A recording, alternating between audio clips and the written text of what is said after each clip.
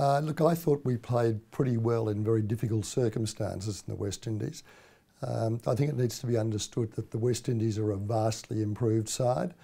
When they were in Australia a few years ago, uh, they didn't seem to be a cohesive group. And under the leadership of Otis Gibson as coach and Darren Sammy as their captain, they're a very different unit now. I didn't think their batting was particularly strong. I mean, Bravo's a good player, and Chanderpaul, of course, did extremely well. But apart from that, their batting wasn't particularly strong. But they were very hard to shake off. They fielded brilliantly, bowled with discipline. Uh, they were a good side. So I thought we did well on those wickets to beat them 2 0. Yeah, well, I mean, they just turned square.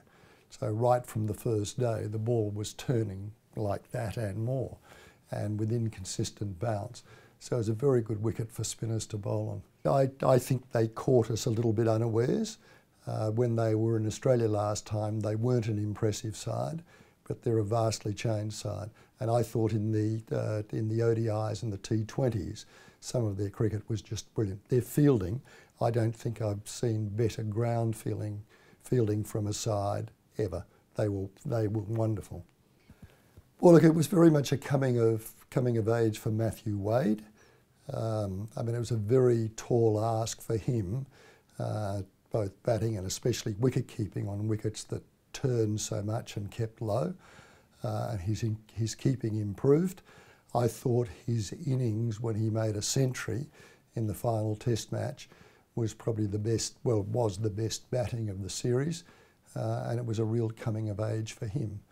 Uh, Mitchell Starc uh, practiced hard through the tour and then played in the last test, so it was great for him to get an opportunity.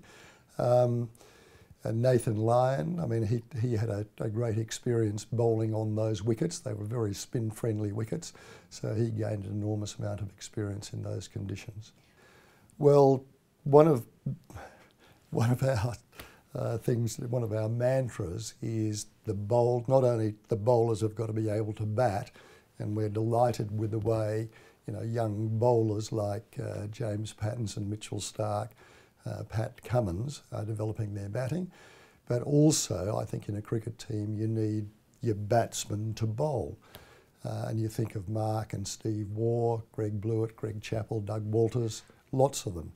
Uh, you need your batsmen to bowl. So it was very pleasing to see that uh, David Warner got, I think, three wickets, Mike Hussey got a wicket, and then Michael Clarke in the last match got five wickets. But to, uh, to have a more complete attack, you need your four bowlers and some of your batsmen being able to bowl decently. So that was good. I think our top six, the batsmen are very good. And they got starts and they looked promising and on, in very difficult circumstances when the ball was new and, and the spinners were on early and it was turning and rearing.